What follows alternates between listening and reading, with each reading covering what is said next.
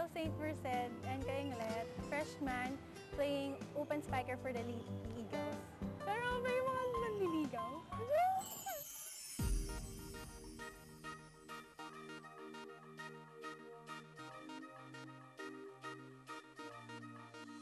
Dapat kasi basketball ako, kasama yung sister ko sa UP. Eh, eh masyadong rough.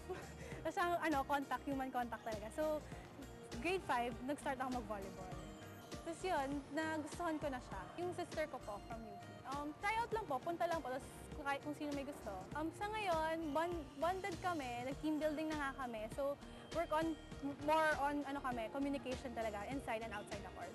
Coach Roger, okay siya, magaling nga siya, tapos malupit siya magpa-training. As in, sobrang dinidisiplina talaga kami. As in, on time, dapat 4.30 nandito na, hindi, hindi for, ano, basta 4.30 call time namin dito, kung 5 o'clock.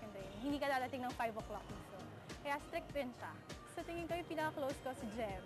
Kasi since second year high school ko pa siya, naging teammate ko siya for Manila team, NCR team. So, sinundan ko talaga siya kasi magaling siya mag-set. Family ko, okay. Mom ko, dad ko, never missed a game. Lagi sinunod since high school. So, thank you. Okay, mababait sila. Okay naman. Nakapag-adjust na ako ng mabuti dito.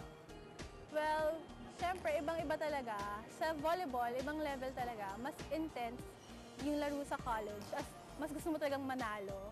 Tsaka, iba, mas mabilis yung mas mabilis yung game, mas matatangkad mga kalaban, kasi matangkad talaga. So, kailangan mo rin talagang mag, makipag-compete sa kanila.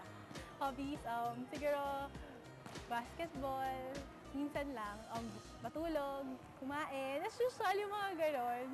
Ngayon, college na, as in, mas madaming workload, mas madaming schoolwork. So, kahit sanay ako na studies and volleyball, dito talaga medyo mahirap tala- talaga i-balance kasi syempre kailangan mo i-set yung priorities mo. Kung volleyball ba, volleyball lang. Kung ano, schoolwork, schoolwork lang talaga. Kaya medyo nag-adjust pa rin ako doon. Ngayon, lalo na season ngayon, so medyo hell week, kaya madaming mga midterms, kaya mahirap. Idol ko si Vic Vic Lavorte. Kasi ang galing niya, hands down. Tsaka bait pa, galing magturo. Kasi nagtsatsaga talaga siya para matuto ka. After playing volleyball, um, ngayon, plan ko mag-shift sa BS. Kaya pang pre-med po. So magdo-doctor po. Gusto ko mag-doctor. Sa teammates ko, um, thank you sa lahat ng pag lagi kayo nandyan, sa pagsuporta lagi sa akin.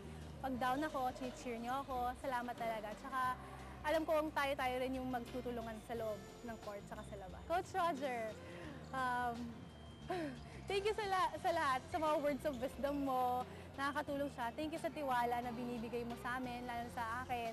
Alam kong may kumpiyansa ka talaga sa akin. Tsaka, thank you sa lahat, lahat. Kasi kahit nahihirapan ako, ma- nagagawa kong mahalin pa rin yung volleyball. Love life ko. Um, well, kinilig.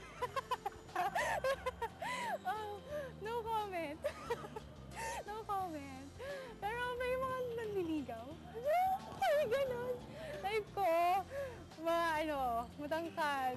Sabi mas matangkad sa akin. Tsaka, mabait. Basta mabait. Tsaka chinito. Uy, ganun. Hindi, dapat ano, dapat approve ni, ano, approve ni mama.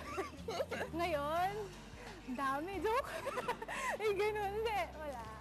Ewan ko, ano muna, volleyball. As in, gusto ni Coach Roger, volleyball muna. Atupagin ko. Maraming salamat po sa mga fans at patuloy na sumusuporta sa amin. Um, thank you po sa pag um, sa lahat. Yun lang.